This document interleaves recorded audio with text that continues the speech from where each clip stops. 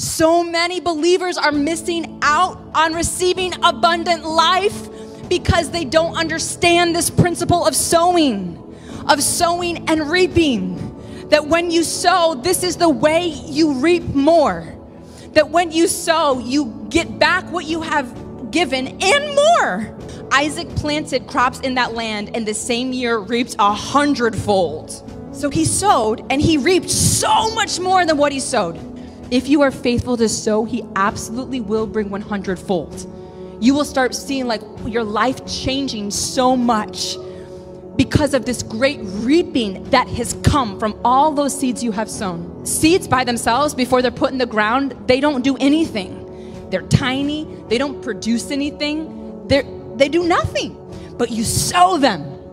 You release them from your hands, you don't hold on to them. You release them, you sow them into the ground, and you don't see anything for a little bit, for a while. It takes time for the roots to go under and grow and become strong. But that at that perfect time, a, a, plant sprouts up, a tree sprouts up, a flower sprouts up. And so if you throw all of these seeds into the ground and there's so many seeds, one day it will be a massive field of plants that produce all this fruit that you can eat. Flowers that are so beautiful, they bless you to look at them. Big trees that produce shade that bless you. So much more you have reaped than what you have than what you sowed. That's the spiritual principle of sowing, of sowing into God's kingdom. You're sowing, it can be little what you have, but you sow, and it produces supernatural blessings in your life. Bring all the tithes into the storehouse. If you do, I will open the windows of heaven for you. I will pour out a blessing so great you won't have room enough to take it in. Try it. Put me to the test.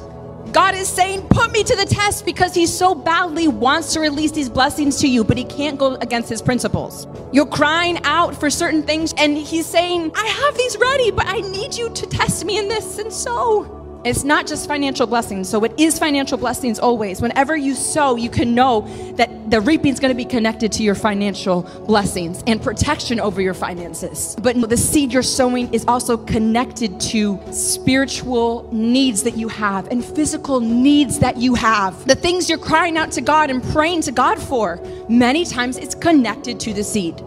Many times it's it's specifically what he's saying here when you sow, I will pour out this blessing.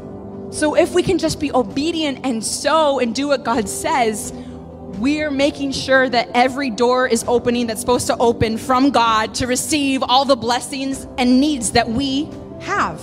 We don't have to worry about it like, what do I need to do to get this blessing?